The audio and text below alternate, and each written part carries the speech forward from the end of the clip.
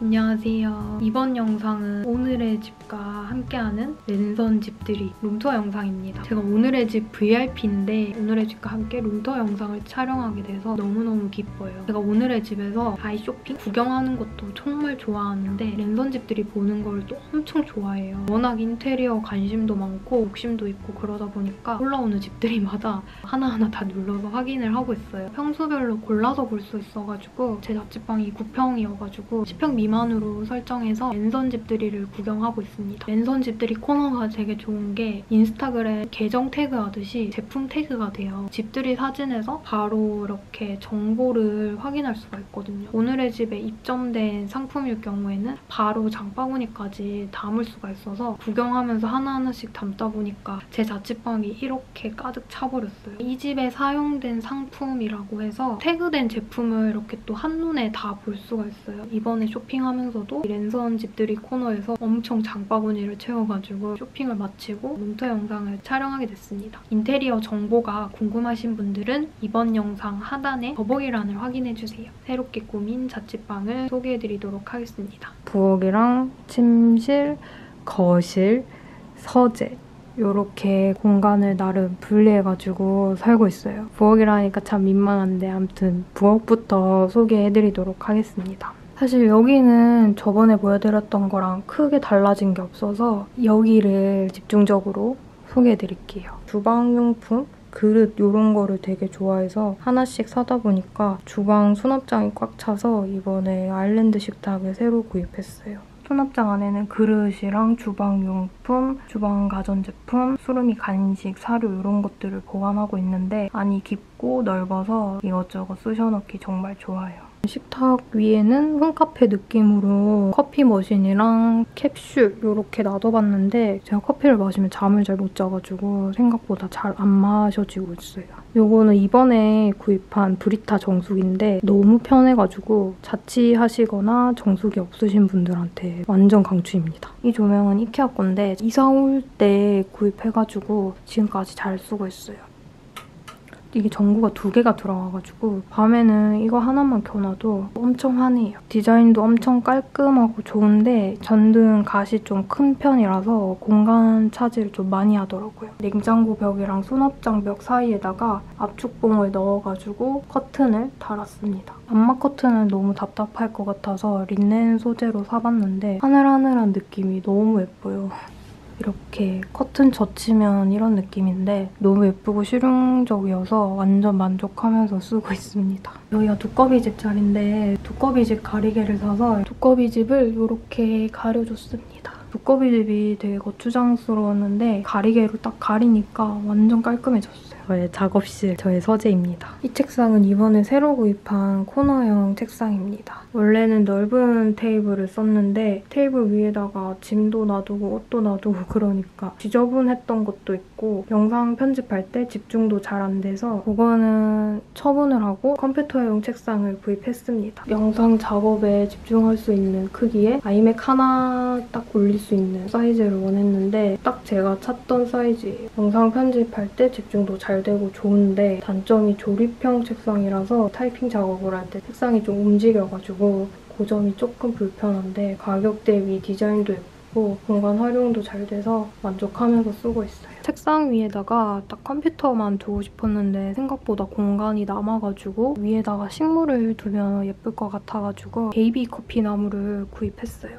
화분 받침을 미처 못 써가지고 화분만 달랑 올라가 있어요. 너무 귀여워가지고 이런 거 좋아하시는 분들한테 강추드리고 싶은 portable 램프입니다. 책상 위에서 쓰다가 침대 맡에도 두고 bookcase 위에다가도 두고 들고 다니기가 좋아가지고 여기저기 들고 다니면서 잘 쓰고 있습니다. 여기가 저의 최애 공간인 거실입니다. 빔 프로젝터를 TV 대신 쓰고 있거든요. 방바닥에 앉아서 TV 보듯이 빔을 보고 싶어가지고 그래서 구입한 카페트랑 테이블 그리고 등 쿠션이에요. 유리 테이블을 살지 원목 테이블을 살지 엄청 고민하다가 유리 테이블은 관리하기 어려울 것 같아서 원목 화이트 컬러로 구입했고요. 다리 부분은 또 철제 스틸이어가지고 원목이랑 이 철제 조합이 너무 마음에 들어서 구입하게 된 테이블이에요. 너무너무 잘 쓰고 있는 좌식 테이블이고요. 이 테이블 같은 경우는 컴퓨터 책상이랑은 다르게 다용도로 쓰려고 일부러 넓은 사이즈로 구입했고요. 음식 같은 거 먹을 때 흘리면 빨리빨리 닦아줘야 하는 그런 단점이 있는데 김치 국물도 흘려보고 라면 국물도 흘려봤는데 잘 닦여가지고 그 부분도 만족하면서 쓰고 있습니다.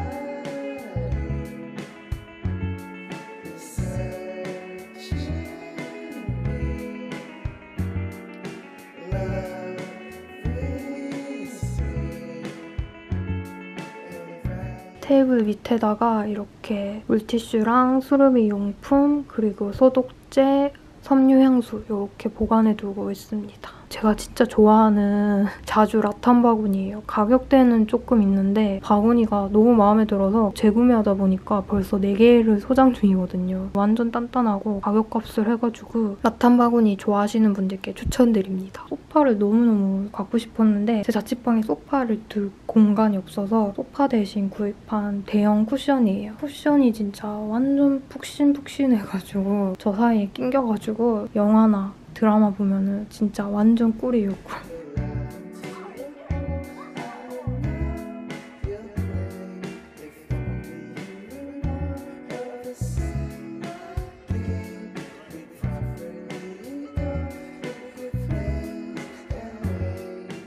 테이블이랑 카페트 구입하면서 같이 구입한 bookcase인데 저는 거실장 느낌으로 쓰고 싶어서 구입했어요. bookcase 안에는 책들을 이렇게 꽂아놨고요. 요새 책을 뒤로 꽂는 게 또 트렌드인 것 같아서 은근슬쩍 따라해봤습니다. 밑에 folding 박스에는 각종 케이블들, 충전기, 뭐 전원 코드 이런 거 똘똘 말아가지고 넣어놨고요. planterior를 좋아해서 이번에 구입하게 된 마오리 소포라입니다. 이번에 산 식물 중에 제일 예뻐요.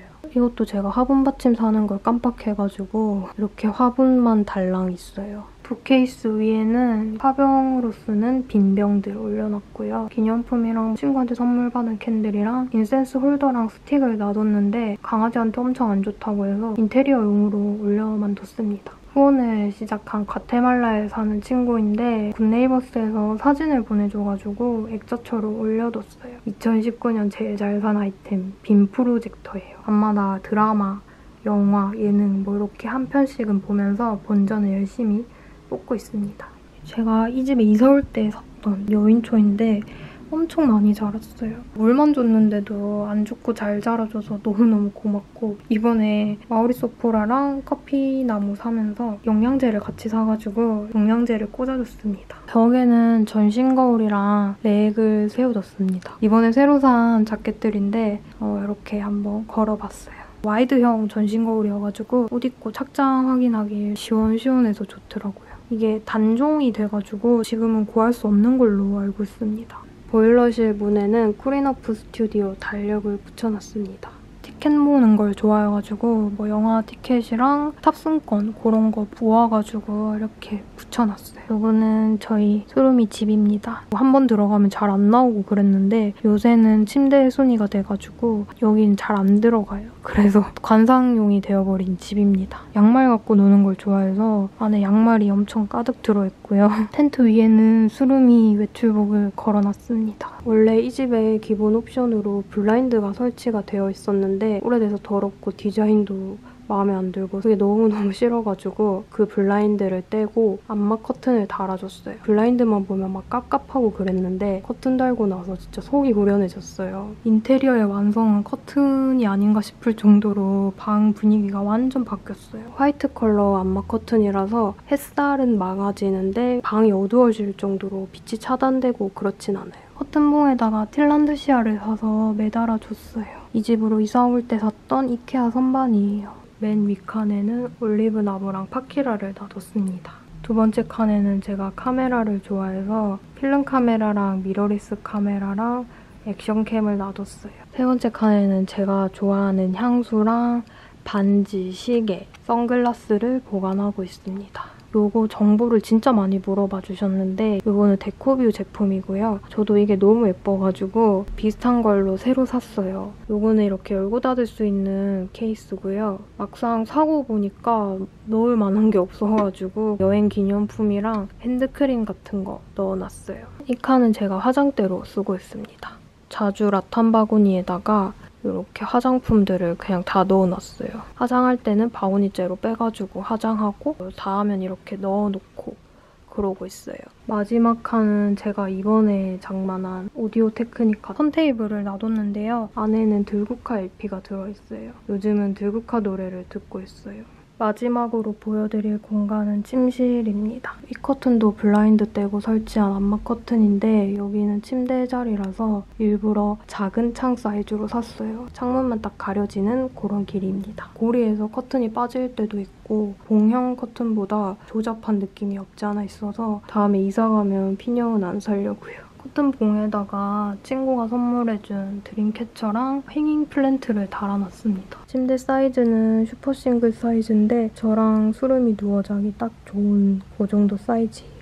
이번에 처음으로 꽃무늬 침구를 사봤는데 왜 이제 샀나 싶을 정도로 너무너무 예뻐요. 꽃무늬 침구를 깔아두니까 자취방이 완전 화사해졌어요. 바깥은 꽃무늬로 되어 있고 안쪽은 이렇게 스트라이프로 되어 있어요. 침대 깔판에다가 매트리스만 깔아가지고 살고 있었는데 침대 위치를 바꿀 때마다 침대 헤드가 없는 게 불편해서 이렇게 아일랜드 식탁을 침대 헤드처럼 쓰고 있습니다. 제가 준비한 room tour 영상은 여기까지입니다. 이번에 진짜 오늘의 집과 함께 너무너무 만족스럽게 꾸며가지고 이번 자취방에서 찍는 마지막 room tour이지 않나 싶습니다. 이번 영상 인테리어 정보는 제가 더보기란에 기재를 해두도록 하겠습니다. 궁금하시거나 관심 있으신 분들은 더 더보기란을 확인해주시면 됩니다. 이번 영상도 끝까지 봐주셔서 감사합니다. 저는 다음 영상으로 다시 찾아올게요.